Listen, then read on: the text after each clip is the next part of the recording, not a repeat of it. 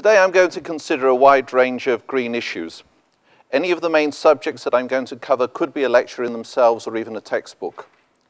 If you wonder how I came into this field, zero carbon housing has been an interest of mine for 20 years. I will tend to refer specifically to offices rather than retail or residential developments, although the principles will always be the same. As I talk, you will find that I regard being green and money as being the same thing. Going green can be a cost if you do not treat it as a friend and an ally. Use being green as a tool to help the environment, yes, but also use it to help you to make better profits. The clever person is the one that can do the same job to a higher standard with less energy because energy is money. On the screen to my right, anything that's in green comes from BREEAM. Anything that's in purple comes from LEED. Water, a dangerous friend. Flood risk can be broken down to two headings. A local problem caused by heavy rain landing on a flat site with inadequate drainage, or flooding caused by water that fell some distance from the site which then inundates the site. If you can manage a site that might flood in a thoughtful way, then you will get points towards green accreditation. Romania is fortunate because much of its steep land is still forested. But increasingly there are floods as water comes down the major rivers from elsewhere in Europe. And as a result of land being covered in concrete. This is partly a planning problem. Densities are too high and the surface water drainage system is inadequate to cope. The fact that Bucharest is almost flat does not make things easy. This is not just a Romanian problem. The British government also encourages overdevelopment, but there is always a limit to how many people you can place on old infrastructure. It is also a matter of profit seeking. Land prices are high, and because people can overdevelop, they do overdevelop. And only a government can resolve these sorts of issues. The only certain solution is not to build in areas that might flood, and to follow all the green principles that are available to prevent water accumulating in the first place. There is always data available on rainfall and flooding. Never build anywhere that there has been a flood in the last 200 years unless you add on a bit more. In the UK, we add on 20, sorry, 30 centimeters to be on the safe side, and in the USA, they tend to add on another meter. If the records are unreliable, then go for a minimum of one meter above the last recorded high storm water level.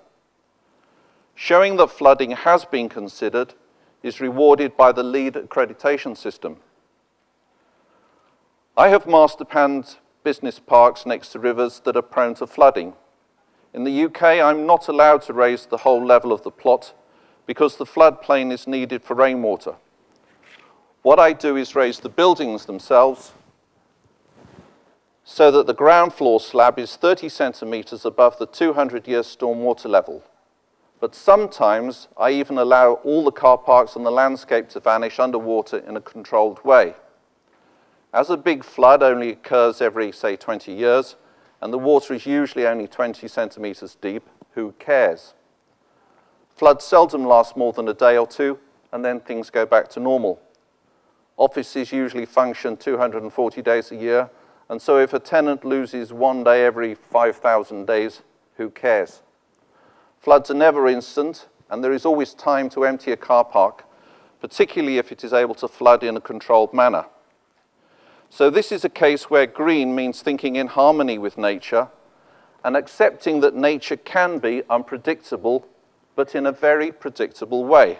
Be careful though, in places around Bucharest, buildings have been built on fill placed on wet ground. Roads, distribution centres and houses have been put on poorly compacted ground, some of which will liquefy when there is an earthquake.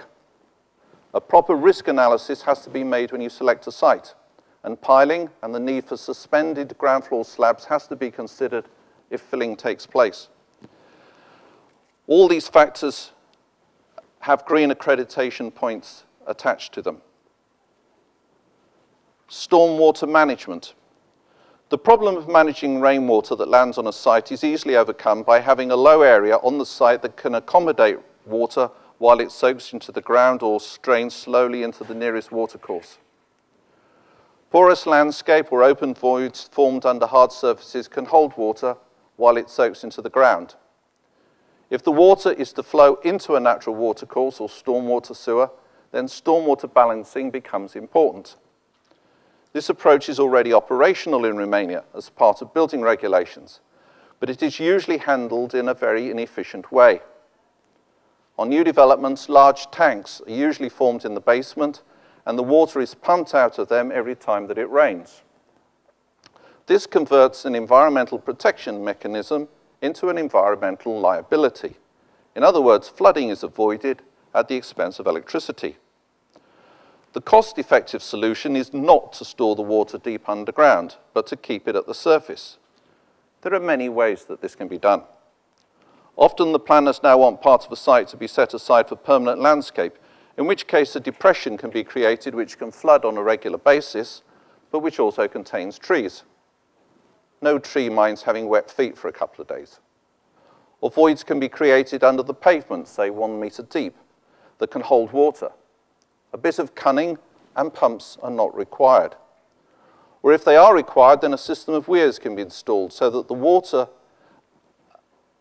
only passes into them during a major storm and not every shower, which is often the case at the moment. Runoff is very different between a roof and a forest. Up to 75% of the water landing on an urban area is lost by runoff, whilst only 5% is lost from a forest. It is possible to store water in tanks, but on many sites, holding back water on the roof is the best option. A layer of substrate, only 15 centimeters thick, can absorb up to 90% of the rainfall in summer and up to 75% in winter. Erosion. Erosion usually occurs when the vegetation cover is removed from an area and the ground is soft and steep. The secret is not to remove the vegetation cover until the very last minute and to replace it as soon as possible. Placing mats or turf on the ground will allow water to soak in. Waterborne pollution reduction and sedimentation control. This is an important element for qualifying for GREESE certification under LEED. The word pollution tends to be used more broadly in the United States than it is in Europe. This can simply be a question of preventing water washing into a watercourse but it also covers oils that need to be taken out by separator. Once a project starts on site, the responsibility for what happens is transferred to the contractor, and so careful, carefully planning cut and fill operations and stockpiling materials is a problem for him alone. Many factors then come into play. Do I need to strip a big area all at once? Should I build settlement basins? How will I phase the operations? Simple measures like stockpiling and consolidating loose material is a considerable help. If soil is properly stacked so that it stays dry, it can be handled in almost any weather. The secret is to control any earth-moving operations. This means good planning and management. A well-managed site is always tidy. If soil is spread around, then it will soak up water, which makes it harder to handle and more expensive. The other thing is to ensure that materials are moved once and once only. I have watched the same pile of soil on a site moved four or five times in the course of a project just because no one had a plan. Shifting soil is a slow, expensive, energy-consuming process that needs thought. Research does show that the level of genetic abnormalities in children is significantly higher within five kilometers of a large landfill site. The liquid that drains out of domestic refuse is probably one of the most toxic materials on the planet. It is everything that society wants to forget about. If it leaks into the groundwater, the effects can be very serious. The recent edict that industry should move out of cities is good because it takes away the source of a problem. But the legacy of industrial use can be very serious and long-lasting. I had a site in England where there were PCBs, polychlorinated biphenyls, in the groundwater. This was because the site was covered by an aircraft factory. These chemicals can cause all sorts of problems, including birth defects. We had to sink wells and pump out the groundwater and aerate it to destroy the PCBs for two years before we could get a building permit.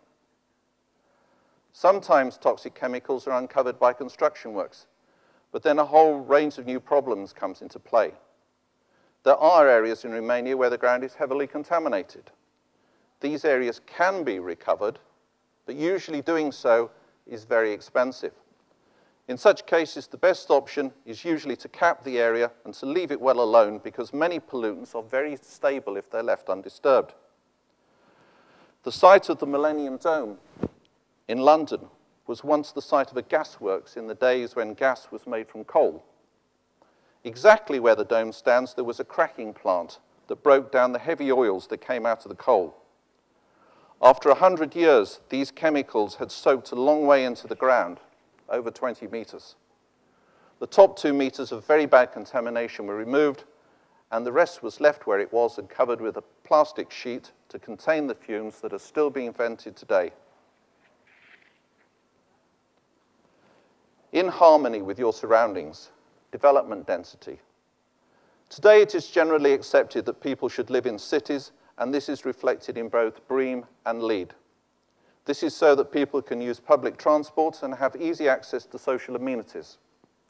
Following this theme makes it easy to win accreditation points.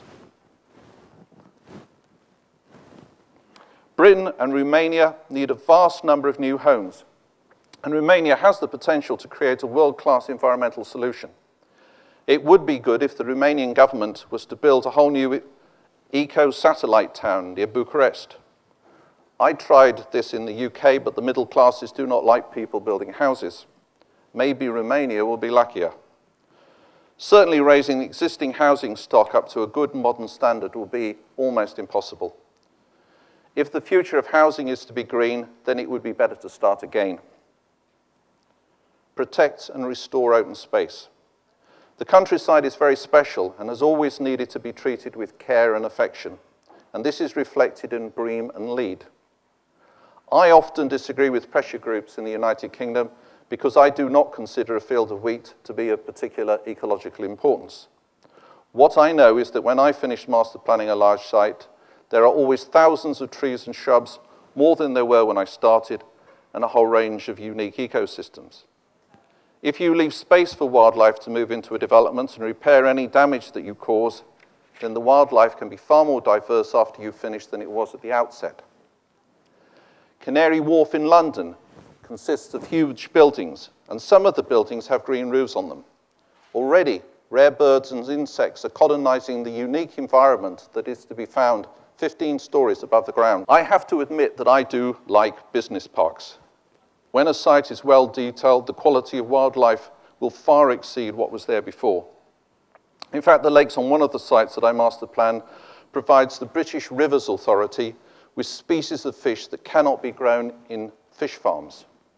So without Sony's headquarters, the rivers of southeast England be, would be without two species of fish. Protecting the ecological value of the site and minimizing site disturbance. Care has to be taken if there is an area of wildlife if there are newts, frogs, lizards, or rare flowers and insects, then these need to be treated with great care. And where possible, their habitat should be extended. If a site is congested, then the destruction will be absolute. Again, this is down to the cost of the land and the density that planners will allow on a plot. A good developer and a good design team can always get wildlife onto a site. It is even possible to produce houses that harmonize with nature. In the past, environmental beauty or ecology has not been apparently given much importance by the planning authorities in Romania, although this is now changing. But it does make a huge difference to the way that foreign investors see a site and is always a good way for scoring accreditation points. When I was a lot younger, I sat with the managing director of Arlington Properties in London and congratulated him for the care that his companies took of the environment. He looked at me as if I was completely mad and said that it was done for purely commercial reasons. If they could buy a site for, say, 20 million pounds and put in all the infrastructure for, say, 20 million pounds, they had invested 40 million pounds on the site. If interest was, say, in those days, 1% per month, uh, sort of 1% per month, then if they sold the site two months early, just because it was pretty, then they had won £800,000 so that they could spend £400,000 on landscape and £400,000 into their pocket. So again, winning points of being sensitive and making money for them was the same thing. Landscape and interior design to reduce heat island effects. Summer temperatures of more than 60 degrees centigrade have been recorded on road surfaces and roofs in Bucharest. This is a problem in Bucharest because the wind speeds are relatively low. When Bucharest was composed of low-rise buildings with a dense tree canopy, the climate was probably quite acceptable. Overdevelopment has resulted in the climate becoming very unpleasant in summer. To make the summers more bearable, it is necessary to prevent both heat and light reflecting back from hard surfaces. Trees are also useful as they release water into the atmosphere. Unfortunately, in Bucharest, the enthusiastic laying, relaying of streets has made them better for people, but has caused serious damage to the established trees. The planners have recently started to demand that forest trees be planted on all major sites, but it will be 30 to 40 years before these trees start to have an effect. Of course, this then brings in the question of conserving water. If plants are well irrigated, then they can grow by rates of up to two meters per annum. If you keep them short of water, they hardly grow at all. There is no such thing as a plant that can grow without water. Stay alive, maybe, but not grow. Green points can still be scored by using grey water for irrigation. Anything that releases water into the air will ameliorate the climate. If the decision was made to try and change the climate of Bucharest, then buildings would need to be more widely spaced to let the air circulate. There would need to be lots of trees and lots of water features. One important cause of the heat island effect is roofs, and these can be modified by placing compost on them and planting sedums to give green roofs. The only problem is that in very long hot summers, these plants do die and never recover. As a result, every green roof needs a small amount of irrigation in a long hot summer. Composting. Garden waste, and in fact almost any organic material, can be composted to be used as a peat substitute. The trouble is that it does take a large amount of capital expenditure to establish a facility and needs a huge throughput of material to be commercially viable. To make this a practical proposition, it will probably require the cooperation of the city authorities. Composting is not a game to play at, and what drains out of the heaps of rotting material is highly toxic.